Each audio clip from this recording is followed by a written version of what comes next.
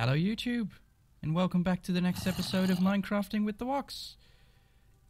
Where is this guy, you might think? Whoa. This is my private base on the server, which I have just started. Let me show you around. The sun is just coming up, and we have lots of zombies out there. Ooh. The zombies in multiplayer are terrible. They glitch through things and they hit you. We're in my little desert hut right here. The hole in the ground to the piston slash bedroom. I actually think it's quite nice. It's very small, but I enjoy it. I like the little things. So, what we are going to do today is two things. One, I found some diamonds, and I have every intention of finding one more diamond, or possibly taking one from the base where we are going back to. And there we go, my very first, my very own diamond pickaxe, and that one is very special because it's going to help us with uh we're going to enchant it basically. Let me let me uh There we go. Watch this. It's a door.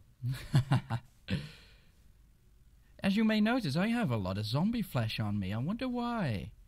And what's this? Oh, by the way, this is it. There's a little failed mob tower in the distance there. Maybe I'll show you someday. Probably won't because it is terrible and it needs to go. This is my desert. It's very far away from uh, from the tower, mind you, but we're going to be running back, and I see you, creeper. This hole goes straight to something that I found whilst spelunking. What is it, you might wonder? You probably guessed it. It is, in fact, a spawner. It's quite deep.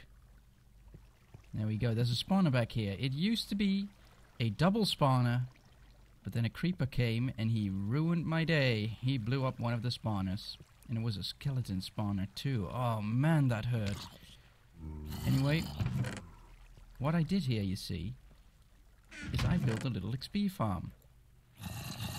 Let me grab my swords. You can see, I've got quite some zombie flesh and a lot of stone swords. What happens is the zombies get pulled into a stream of water, then they go up a mob elevator, mob elevator, mob elevator, and they drop 23 blocks.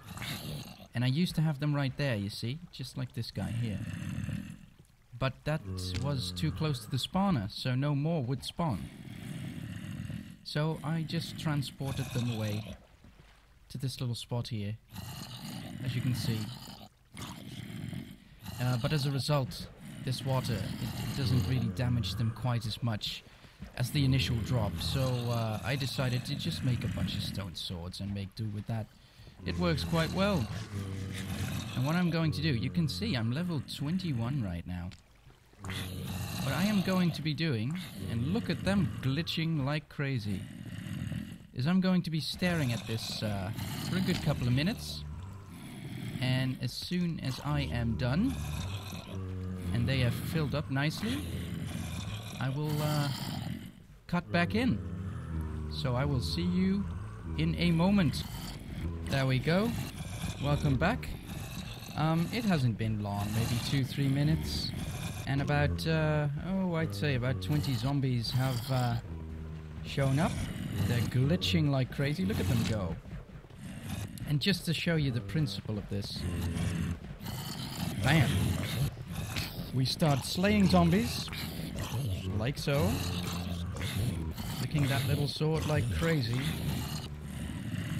And then at some point, the glitchy zombies, as you can hear, it's even ruining the sound, it's crazy. But it should calm down soon. There we go. Almost there. Oh, my sword just glitched out. There we go. And I move up here, push the button. And two levels gained. And a lot of food lost. But this is a sort of self... Because it's a zombie spawner, it gives you the uh, rotten flesh. Which provides you with... Uh, a food source. Oh, this is dangerous. This is dangerous. Oh.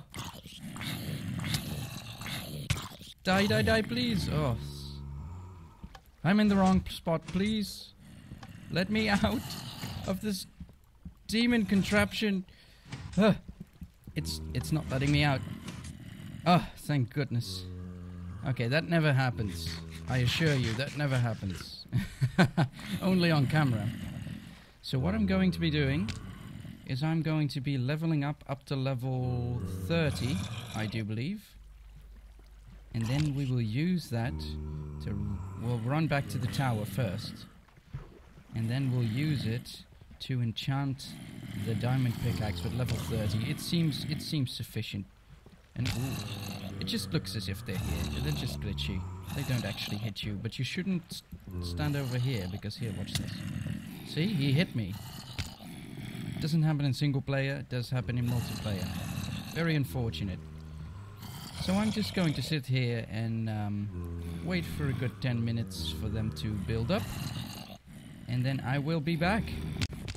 Welcome back. And welcome to Glitchy Mob Heaven. Or hell. Um, in any case, look at these guys. My goodness, let's... Uh, I think we'll need another sword for this one. It's only been on for about five, six minutes. And it's only about 30 zombies, but that should provide me with a nice amount of XP, so let's go. They're actually pushing me out of this hole with their glitchiness. Would you listen to the sound being crazy? My god. By the way, I get the idea that zombies and other others creatures don't drop as much XP as one would expect from the single player. So actually sometimes I don't see them drop XP at all. So I have a feeling that that is slightly buggy, but maybe it's just me. Maybe I'm being some sort of Minecraft paranoid. Come on, guys. Jeez Louise, would you look at this? It does work quite nicely. I mean, it's glitchy as hell, but...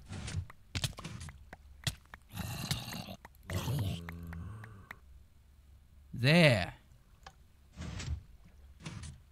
Not too shabby. 25, 25. I think I'll go for it. It's fine because I could sit here all day, but I'm a little impatient. So we're not going to go for those last five levels. We'll put the sword back into the chest, and we're going to start our epic journey back, and we're going to take as little as possible along with us. I should have brought some food. Um, oh well. Possibly there's some food in my little hut. Let's have a look. It looks to be morning, which is a good thing. Although I'm the only one on the server, so I guess I could just sleep. Hello? Oh yeah, the sun is just coming up. Perfect timing. Let's wait a little more for the burning. Let's see, any food in here? Hmm. I guess we can make one loaf of bread out of this. And did I see an enchanted item in here? Oh, I did. An efficiency 1 axe. Sam must have uh, left that here. He was here for a bit. I don't think I need the rotten flesh, thank you. So let's run back. And I'm going to show you the full extent of the traveling, of the journey. Um, just because I want you to know how ridiculously far away this is from the tower. Uh, I felt like um, I felt like moving away quite a ways, you know, to uh, to have my own isolated little spot, and this is going to be it. It's pretty much a straight shot towards the tower, but there's some water in the way here, so we'll go around. Oh, and I found a village on the way. We'll see. In the meantime, Happy New Year's, everyone! How was your New Year's? Was it good? I bet it was. It's never bad, is it? 2012. I heard rumors that the world's gonna end soon. I don't know. All I know is I'm glad that we finally have an even number again, you know? And I.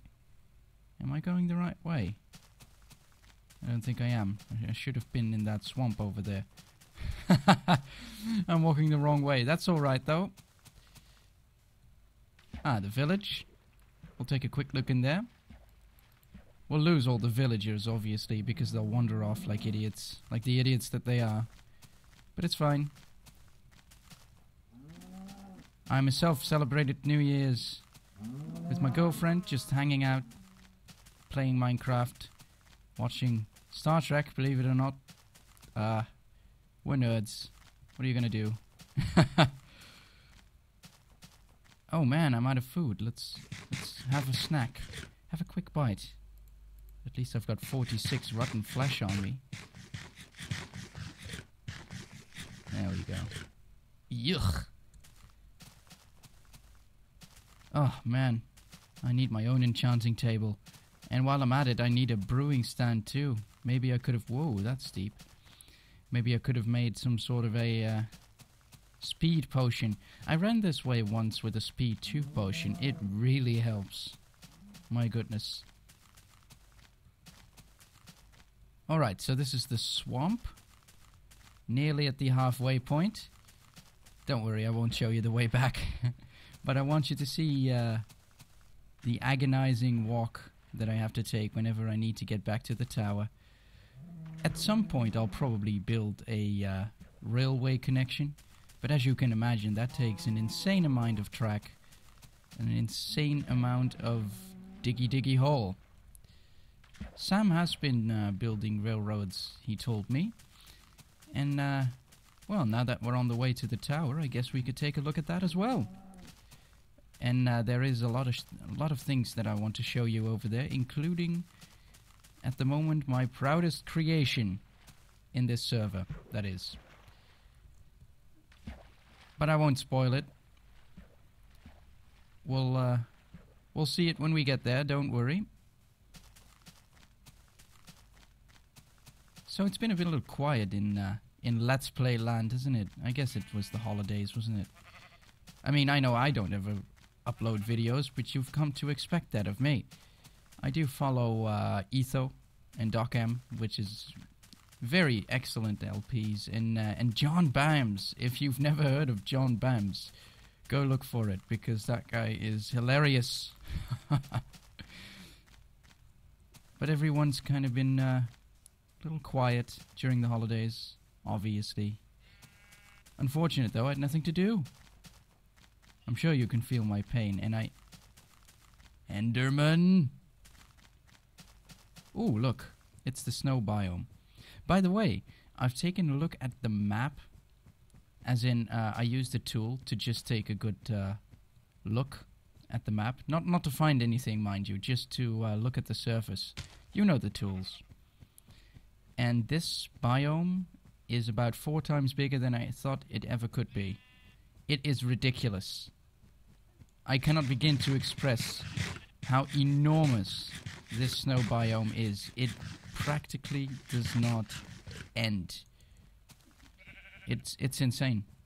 And by pure coincidence, ow, the little hut that we built all the way in the beginning is exactly in the middle of it. So there you go. But yeah, this is a big biome. I kind of wish it was a taiga biome, but they're not going to include those for a while to come. And of course, the level generation will change, has changed again, which annoys me. Oh well. Ah, good, I can stop rambling. We've reached the tower. Don't mind that, that was an experiment. Gone horribly wrong. I can't help it, sheep, don't look at me like that. I made a tiny little cactus farm here. Tiny one, just eight cacti. Your standard cactus farm design. You know, cactus, block on top. And it all falls down in that hole, and I connected it to the uh, the ice chute, which uh, is the same one as those reeds. over here. So let's get in the tower. Oh, right, there's a bakery. Sam uh, built this little bakery for no particular reason. I think it's quite nice. Oh, damn glitchy doors. Interesting roof design and some cake. Nom. And now there's no more cake. Haha. Let's see. Anything of anything worth checking out? Oh yeah, there is. I'm sure that's the railway Sam's been talking about. Let's have a look at it. Oh yeah, he uh, he made a little beacon here. It's pretty cool. I mean, it's a simple design, but it works. I like the iron fences. They're great. So what do we have here? What is this? Some kind of a... Uh oh, wow, okay. Oh, I see. It goes down. Oh, that probably goes a very long way. Let's not check it out right now. We'll, uh, we'll take the ride once it's done. But you're thinking, a minecart track? No way. For a minecart track, you would need something crazy, like a minecart station. Yes. We have a very interesting, even though I say so myself, I'm the one that built it, so I should be quiet, but it's a it's a nice station. It's not entirely polished up just yet, but I will show you. Oh my goodness, there's quite some things to show you. Uh, I just remembered another project that you've never seen. Maybe we can even see it in action. Oh, getting dizzy. Ah, back at the old nether base. Wonderful. You've seen the vault, but you haven't seen this. Haha. This is a farm that I built. I got into a little diggy diggy mood. And this is what I made. It's your standard uh, semi-automated farm. You just plant it. The pistons here keep down some water. And uh, the whole thing yields almost three stacks of wheat. It's not giant. It's not enormous. But it's not small either. One, two, three. I'm going to take this. Because I am all out of bread. And I can take it. I made the entire farm. So... Let's see. Nom. So that lever to my right uh, activates the farm. We're not going to do that right now. And then here is where the uh, seeds collect. Uh, in the future, I'll probably show you a harvest. But uh, it's not fully grown yet, so it would be a waste. And I'm sure you can guess what it looks like. Back into the storage facility. As you can see, the cacti now drop down.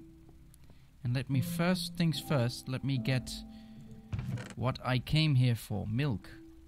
Hmm, I didn't come for milk, but let's see. I will take this because I need it. Oh, look at all the gold and iron. Sam has been spelunking like a madman and uh, getting us all these nice materials. Let's see, what am I looking for? Oh yes, two obsidian, that's right. And now we are... Look at all this lapis! It's crazy. Lapis lazuli. Love it. This is the entrance to the station. This is how it works. First things first, you arrive here. And um, let me just grab a cheap pick uh, from one of these chests. Uh, I'm sure that we could find some. No, we can't. Let's quickly make one because I don't want to waste this uh, diamond pickaxe on something as tedious as uh, showing you the redstone wiring. So let's see, wood, wood, wood. It's here. There we go. Let me make a quick pickaxe.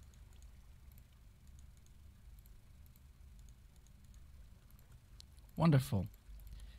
I'll show you some of the wiring. First, I'll show you this thing in action. The trick here, and this is not my invention, but I do love it to pieces. You click one destination and it lights up. And then you click another destination, say this one, and this one lights up, but the other one switches off. See? You can only select one destination at the time. Ever. And that provides for some interesting, uh, interesting redstone if you're interested in that kind of thing. Let's get to the wall here. So both sides are basically the same, but this one is the slightly more interesting one. This whole contraption here has been invented by uh, a gentleman named Static. Very clever, very clever uh, design. It's it's really quite simple um, once you understand how it works. It's basically, and I may or may not make sense right now, but it's basically one wide, completely side-to-side tileable versions of an RS NOR latch. And when you push the button, it actually resets all the other RS NOR latches. I've connected this to the other side. It's exactly the same setup and the outputs come out right here. As you can see, this one is on, the rest is off. What happens then is two things. One, the signal travels up over here to this here wire, you see. And this wire does something uh, a bit clever. This wire goes all the way over here to a torch. So whenever one of these is activated, this here will light up. And if none of them are activated, it will not. So that's important. This side has an extra wire going down there to detect whether anything on this side, not the other side, is selected. And then the wire just goes straight to these here uh, thingamabobs. I'll show you what this all means uh, a little later. Let's go. There we go block that one off. And it's it's the same thing on the other side, except without that extra wire that I told you about. Oh, darn glitchy cards. Look at this. That is terrible. Come on. Come on. There he goes. People shouldn't leave their uh, minecart on this track. They should put him in the dispenser. So what happens is you shoot off, right? And then you get to this. And that's what that wire was for, you see. When anything on the right side is selected, like it is now, that wire is lit and causes this to go right. If I select something on the left side, like so, it goes to the left side, you see? This way, I could really simplify the wiring and at the same time, I achieved a sort of symmetry in the design. We've got four exits right here, and if you uh, if you're a hardcore Minecrafter, which many of you are, I'm sure you will recognize this setup. Card goes straight, and only the part that is selected at the moment destination 7 turns around. So the card goes straight, goes right in here, hits this, and resets the entire system. If nothing is selected or you're returning, you will whoosh around, back onto the track, all the way back. Here, same setup on the right side, slightly more complicated with these pressure plates just because of the physics of the game. I need this to switch when I'm coming from this direction, and I need this to switch as well. Same deal though. All kinds of destinations, and we are going to the cottage. And obviously, Mahdi's settlement that is that very, very long um, mine track that we just saw. And that will eventually go very far away. All right, let's uh, select the cottage. Bling, bloom. And there we go. Let's make a little station, station sounds. Bing, boom. Let's go. So as you can see, we're going right and we're going in the cottage. It's almost the same deal for all these other things. It's a very standard station, except for that uh, symmetry thing that I've got going on, going either right or left.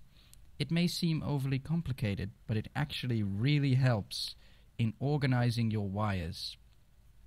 It, it pays off in the end, and it looks nice. So there we go. At the station, we still need... Uh, a proper station here because this is a bit glitchy. You all know this place.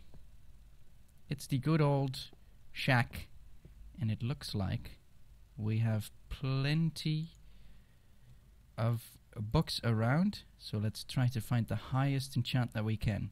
And here's a little trick. You take your cobblestone, you click on it, and it just changes for you. I want a 25, if in all possible. Oh, darn, that was one. Oh, there's another one. Keep your fingers crossed, guys. I hope it's something nice. Very first enchant on the server. Uh, well, serious enchant anyway. Oh, I'm afraid to look. What is it? Ugh. Well, I guess it's alright. I was hoping for a silk touch. That's nearly impossible, it seems. Alright. Let's get back. I don't have to take this way back, but I like it. Also, that reminds me. I should brew some potions. Yes, definitely should. Speed potions. And a crap ton of them. So let's do that. Usually I'd cut out at this point, but uh, I feel like uh, providing you with a slightly longer video today. As you can see, we're going back now. Back to the station. Wonderful. Always take your card with you. Put it back into the dispenser. Alright. Um, as you can see, the system reset completely. Very nice. We should make some potions, should we? Let's see. Sugarcane. Um, let's make three speed potions. For which we shall need only one sugar. I derped the right there. We'll need some potions. Let's see, what do we got? We've got two. That's not too shabby, but I want more. Don't have any glass. Oh, I do. We'll just use these. Put these back. Get these in here. There we go. Go to the pond. The fountain, if you will. Fill them up. We tried doing this with the cauldron. Completely glitched out in multiplayer. So that doesn't work. And let's see if there is some glowstone in the nether chest. Oh, yes, there is. Quite a big deal of it, my. And we'll have to uh, go back to the cottage once more. Because uh, that's where the brewing stands are. The only ones that I know of, anyway. So we'll just uh, speed along here. And then brew up the speed potions. Number two, speed potion two. And we should be back at my base in no time at all. You'll see, you'll see. I have no idea how long this episode is running now, but, uh, eh, it'll be fine. I'll pause the video for the way back, don't worry, guys. I won't make you sit through watching me running all the way over there again. Uh, brewing stand. There we go. Ooh, need some nether wart. Oh, don't tell me. Don't tell me. Yep. Forgot the nether wart. We'll be right back. There we go. Honestly, what kind of a man stores his nether warts that far away from the brewing stand? I'm asking you, honestly. Ugh. That's okay. I'm not angry. A little bit uh, disappointed, but I'm not angry. So we'll just brew these up. You probably know how this works. The nether wart turns it into something called an awkward potion, which is a very strange name. I mean, I wonder where that came from. Probably some Swedish slang or something. I don't know. So there we go. Awkward potion, no effect. Sugar for that good sugar rush. And then we'll use the glowstone to enhance the potion so that uh, we won't have to sit through that long walk again, although it probably would have taken just as long with all this brewing and whatnot. Still, should be fun. Running around with Speed Potion 2 is always good. Or it's called a Potion of Swiftness, I believe, actually. So let's see. Swiftness 1 for 3 minutes, but I want Swiftness 2 for 1.5 minutes. Because it's more fun.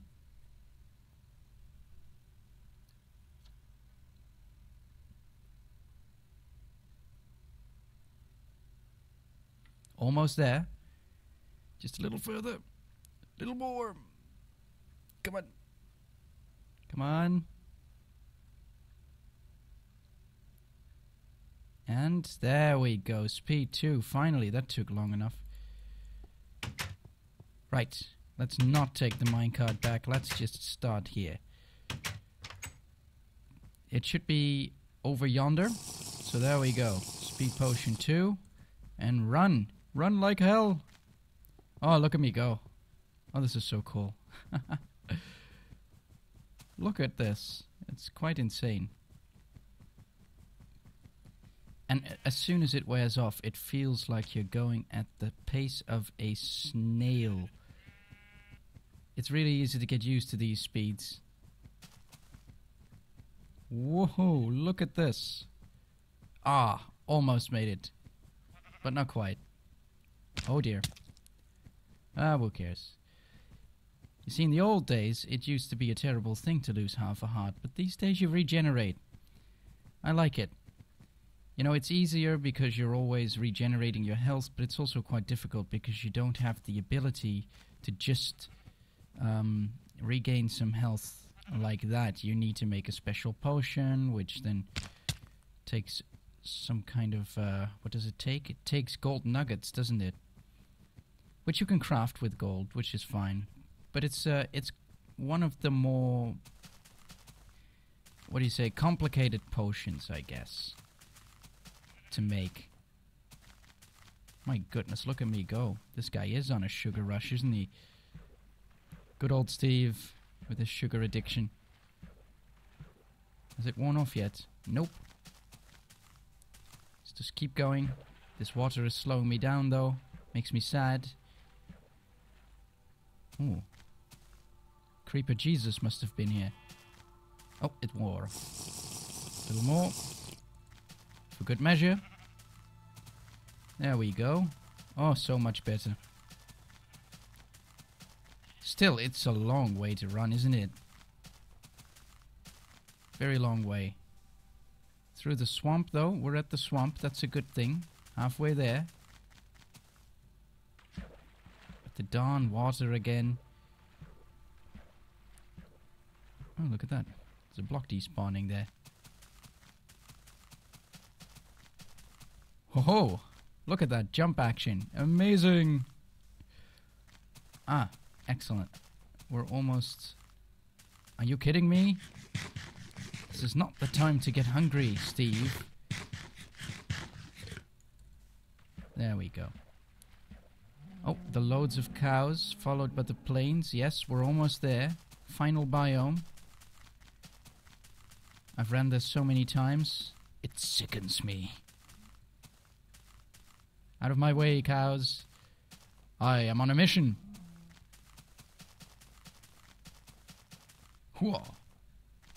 I'm on a mission to build myself an enchanting table. That's what we're doing this episode, by the way. Sorry, I didn't tell you. That was the mission all along. Almost there. There's the village. And if we're lucky, we can make this jump. And I... He stopped running. Oh no, the potion simply wore off. Well, I'm not gonna drink the uh, third one. It seems like a waste. As home is just over there somewhere.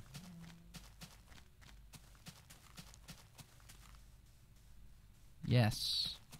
Almost there, I'm sure. I, ah, let's just drink it. There we go. Much better. I really kind of like the potions. I wish they would stack, but they're a cool addition to the game. Oh, speaking of games, if you're still watching right now, uh, you are very patient.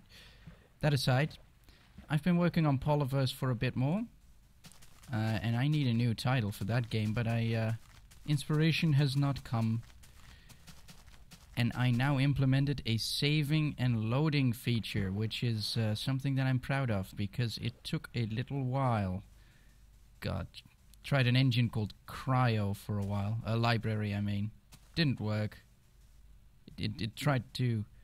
It stopped me at every turn I made, so I just went for the standard Java object persistence and it said, okay, I know what you want, and here it is. And then it was reasonably easy.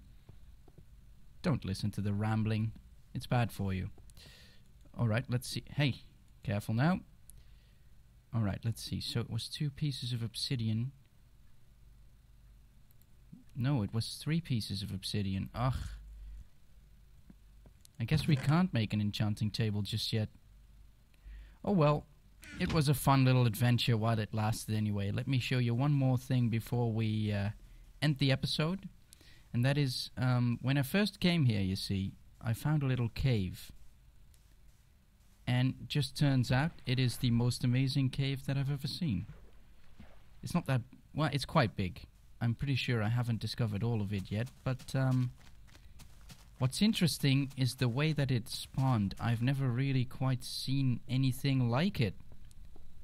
And maybe you haven't either. That goes nowhere. So first you get along here. Right? You have to sort of loop around like this. And you get down here. Then you get to the chambers. As you can see, I use this for a base for a very short time. And then you go up here. And it gets very interesting. It generated just below the ocean, you see. So you can get out here. And look at this. The entire cave is is flooded. Oh, it goes down. And I see some iron. Oh,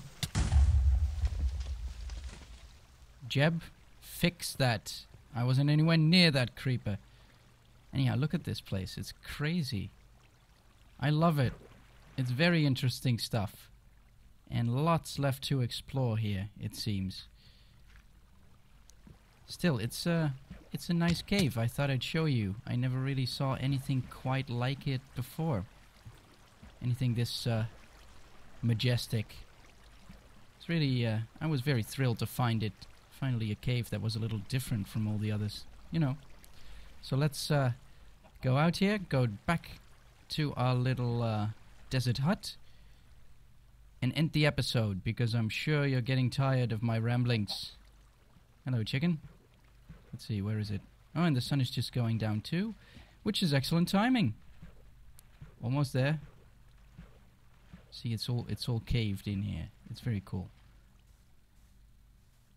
There we go, back to the little hut. Hooah! Shoot! Haha.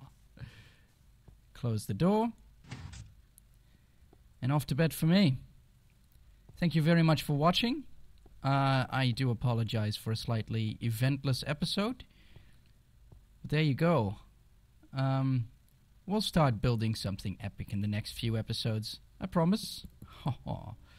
Until then, if you did like the video, please do leave a like, comment, or even subscribe.